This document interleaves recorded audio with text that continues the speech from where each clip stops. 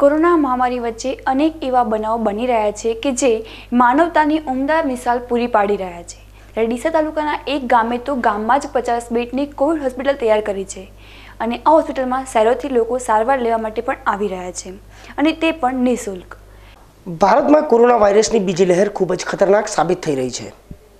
કોરોનાની બીજી લહેર દરમિયાન હોસ્પિટલોમાં દર્દીઓને સારવાર માટે જગ્યાઓ નહોતી. અને તેના લીધે અસંખ્ય લોકોના મોત પણ થયા છે. ત્યારે આ મહામારી દરમિયાન ડીસા તાલુકાના ઢુવા ગામના લોકો અને દિલવાડિયા પરિવારના સહયોગથી ઢુવા ગામમાં કોવિડ હોસ્પિટલ શરૂ કરવામાં આવી હતી. ઢુવા ખાતે આવેલી લોક નિકેતન શાળામાં શરૂ કરવામાં આવેલી આ હોસ્પિટલમાં કોરોનાના દર્દીઓ માટે પચાસ બેડની વ્યવસ્થા કરવામાં આવી હતી. અને અહીં સારવાર માટે આવતા દર્દીઓને વેન્ટિલેટર સિવાયની તમામ સુવિધાઓ ઉપલબ્ધ બનાવવામાં આવી હતી. શહેરોમાં નાણાં ખર્ચવા છતાં સારવાર માટે બેડ મળતા નથી તો ઢુવા ગામમાં નિઃશુલ્ક સારવાર કોરોનાના દર્દીઓને મળી રહી છે. આ ઉપરાંત અહીં સારવાર લેવા આવતા દર્દીઓને નિઃશુલ્ક ઓક્સિજન, રેમડેસિવિર ઇન્જેક્શન અને ભોજન પણ આપવામાં આવી રહ્યું છે.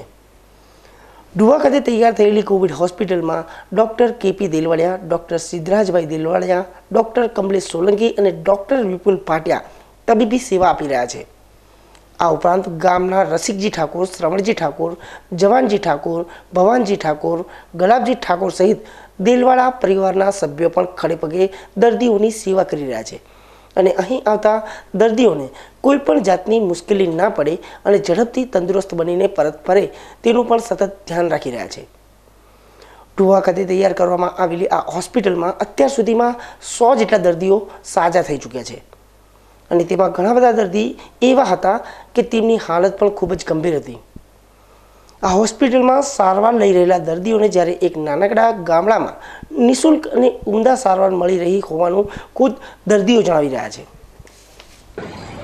આજથી અગિયાર દિવસ પહેલાં ડીસાના તમામ પ્રાઇવેટ દવાખાને ગયા હતો પણ કોઈએ મારી આંગળી પકડીને રાજપુરના વોર્ડ બાબાભાઈ ડીશ મને દરેક પ્રાઇવેટ દવાખાનામાં લઈ ગયા. કોઈ મારી ના આંગળી ઢુવા ગામ સિવાય ક્યાં નીલ પડી એવું નથી.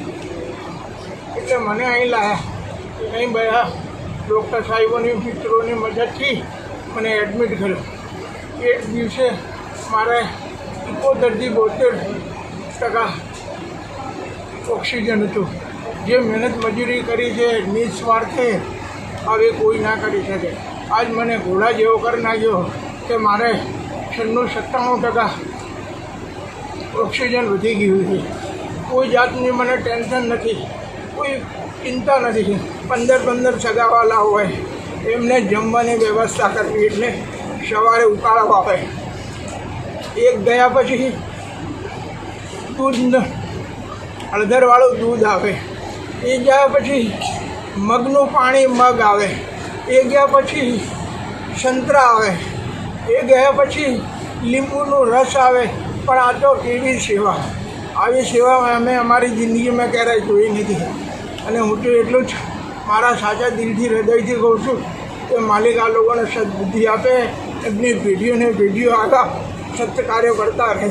પણ ગામ બાજુ ગમે જ્યારે તમે થોડું લાગણી દર્શાવજો અને બધા યુવાનોને પ્રોત્સાહિત કરજો. આ બધા કોઈ મહેનત મજૂરી કરી રહ્યા છે, વગર સ્વાર્થ કરી રહ્યા છે. નથી કોઈએ પાઈ પૈસો લેતા કે નથી કોઈ કંઈ કરી શકતા. સમય મળે. એકવાર હું એમને હૃદયપૂર્વક હાથ જોડીને કહું છું કે તમે ઢુવા ગામની મુલાકાત લેજો લઈ ને લેજો. સામાન્ય રીતે લોકો ગામડામાંથી સારવાર લેવા માટે શહેરો તરફ પ્રયાણ કરતા હોય છે. પરંતુ ઢુવા ગામમાં અત્યારે અવળી ગંગા વહી રહી છે.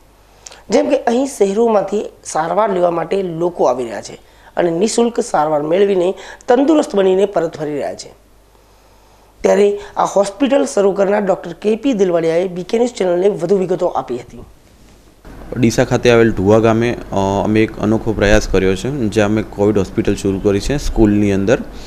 જ્યાં લોકનિકેતન વિનય મંદિર ઢુવા કરીને એક જે હાઈસ્કૂલ હતી, એની અંદર મેં પચાસ બેડની હોસ્પિટલ ઊભી કરવાનું નક્કી કર્યું હતું.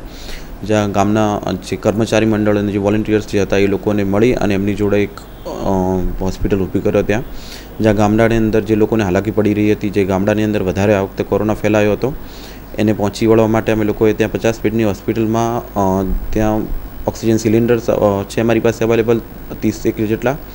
ત્યાં અમારી પાસે ઓક્સિજન કોન્સન્ટ્રેટર મશીન પણ અવેલેબલ છે. અમારી પાસે ત્યાં બે ડૉક્ટર્સ છે બીજો નર્સિંગ સ્ટાફ છે. અને સાથે અમે લોકોએ ત્યાંના ભેગા મળી અને ફ્રીમાં દરેક લોકોને જે ગરીબ લોકો છે, એમને જે પહોંચી નથી વળતા, એમને આર્થિક રીતે એમને મદદ મળી રહે, એના માટે એક ફ્રીમાં હોસ્પિટલ શરૂ કરી છે, જ્યાં ઘણા લોકોએ એમને દાન પણ આપ્યું છે અને એના લીધે અમે બહુ જ સારી રીતે અહીંયા ત્યાં લગભગ સો એક જેટલા દર્દીઓને ડિસ્ચાર્જ કરી ચૂક્યા છીએ હજુ સુધીમાં અને જે લોકોને એકદમ સિરિયસ કન્ડિશનમાં હતા, એવા લોકો બી પણ ત્યાંથી સાજા થઈને ગયા છે.